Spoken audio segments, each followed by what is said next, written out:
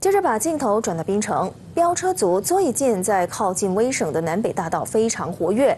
滨州警方今天凌晨在市布朗在野一带设立路障，取缔违规的道路使用者。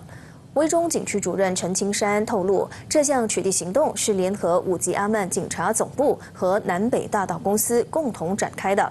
执法人员总共开出三百三十四张罚单，当中涉及无照驾驶、路税逾期等等违规行为。